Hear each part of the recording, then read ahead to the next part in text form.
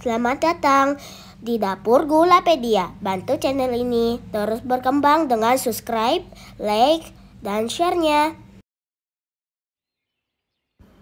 Halo semua, kali ini aku ingin membuat roti pisang, coklat, dan keju dengan adonan yang sangat ekonomis, tanpa telur dan juga susu, tapi tetap enak dan juga lembut.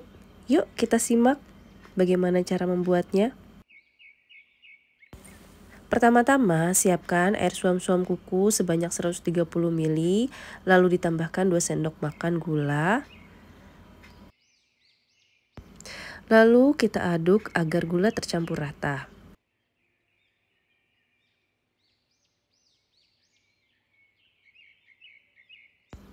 Setelah rata, kita campurkan 1 sendok teh ragi instan.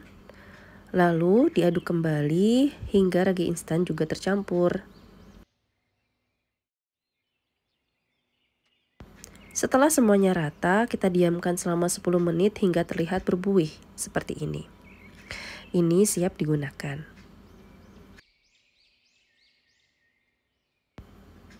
Selanjutnya aku siapkan 250 gram terigu berprotein tinggi Lalu buat lubang di tengahnya agar memudahkan larutan ragi instan dan gula tercampur dengan terigu. Lalu aku masukkan larutan gula dan ragi. Aduk rata kembali hingga setengah kalis.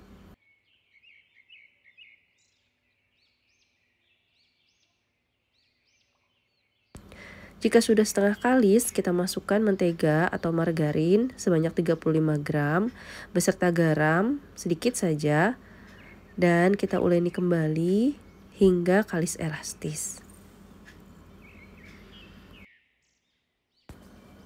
Oh ya, penggunaan tepung berprotein tinggi di sini dapat diganti dengan tepung berprotein sedang. Menurutku, mengganti tepung protein tinggi menjadi protein sedang tidak terlalu berpengaruh besar, hanya akan berpengaruh pada tekstur roti nanti. Tepung yang berprotein tinggi akan menghasilkan tekstur roti yang lebih elastis dibanding tepung berprotein sedang. Gunakan teknik menggilas adonan ya agar cepat kalis. Nah, ini sudah kalis. Lalu kita bulat-bulatkan adonan seperti ini.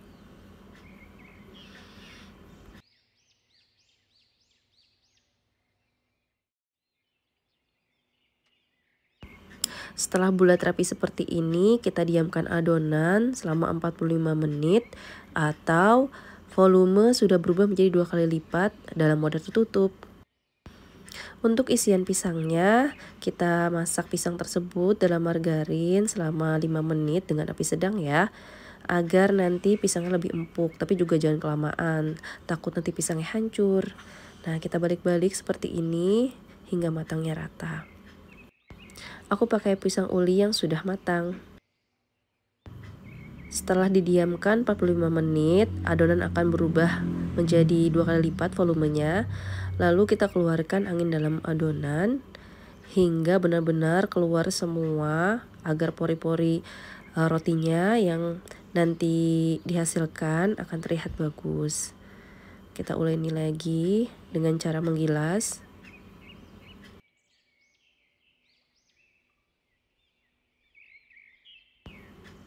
Bulat-bulatkan kembali adonannya agar mudah untuk kita bagi-bagi menjadi bagian proporsi.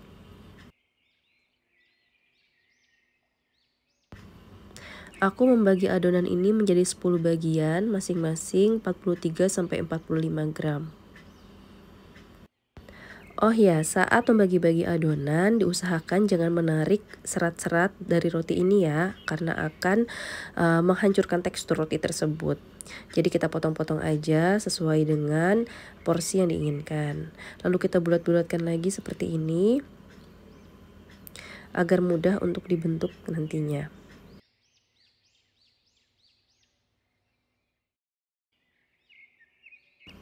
Selain pisang, aku juga menyiapkan keju dan coklat bentuk batangan seperti ini, coklat blok. dan juga ini pisangnya yang sudah dimasak. Nah, caranya untuk membentuk aku buat adonan menjadi gepeng seperti ini. Kita gilas ya dengan rolling pin. Bentuknya memanjang. Pastikan dapat termuat semua uh, isiannya dalam adonan tersebut. Lalu kita masukkan pisang, keju, dan juga coklat ke dalam adonan. Adonannya kita lipat seperti ini agar tidak buyar ya ketika nanti akan mengembang lagi. Kita kerat-kerat bagian atas adonan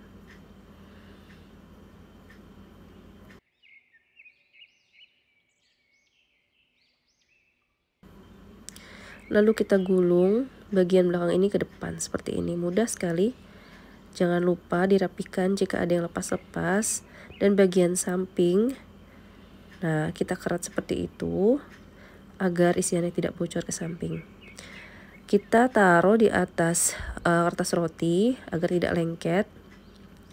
Nah, ulangi sampai adonan habis dan kita mendapatkan 10 bagian roti pisang isi coklat keju ini.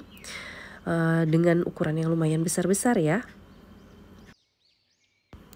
Jika kita lihat dari bahan-bahan adonan yang murah dan simple, ini bisa banget untuk menjadi ide jualan dengan isian juga ya bisa macam-macam ya, bisa isi coklat atau keju aja atau macam-macam selai-selai yang lainnya bisa disesuaikan dengan budget dan kita jual murah.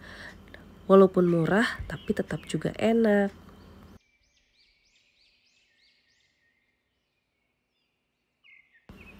Jika semua sudah selesai, diamkan kembali 30 menit agar mengembang. Dan kita siapkan keju dan coklat yang sudah diserut sebagai topping, serta susu cair sebagai bahan olesan di kulit roti.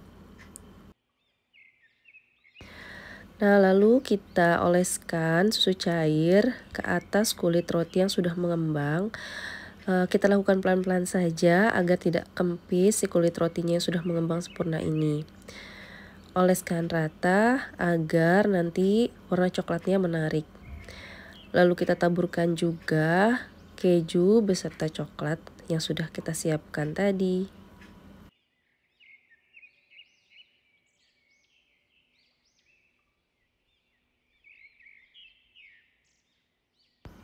Lakukan hal yang sama di seluruh roti yang sudah mengembang dengan sempurna.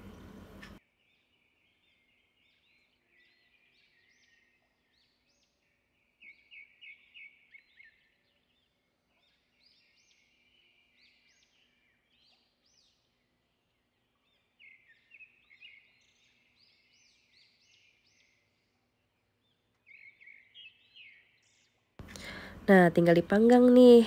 Kita siapkan dulu ovennya ya. Kita panaskan selama 5 menit.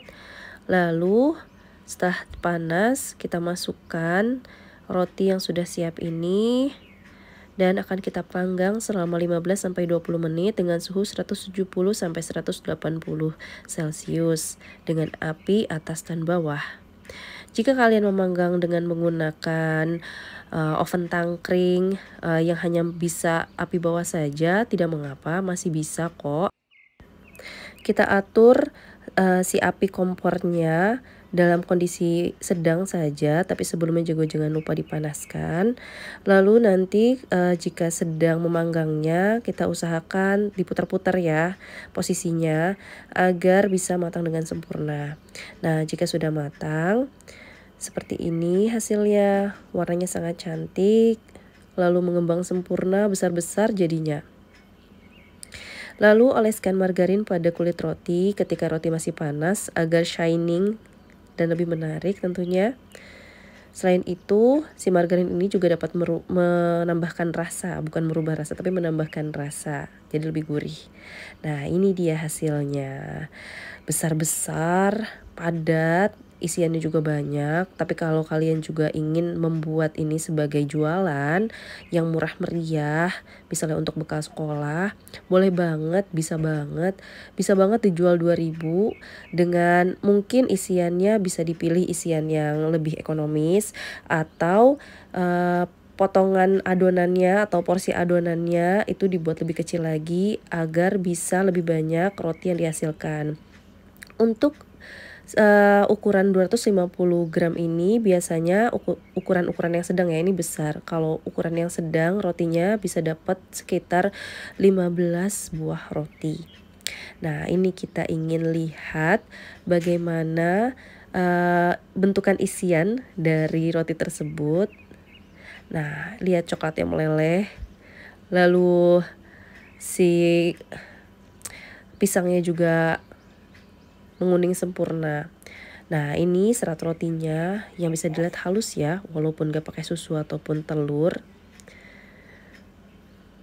Nah, itu kejunya tuh.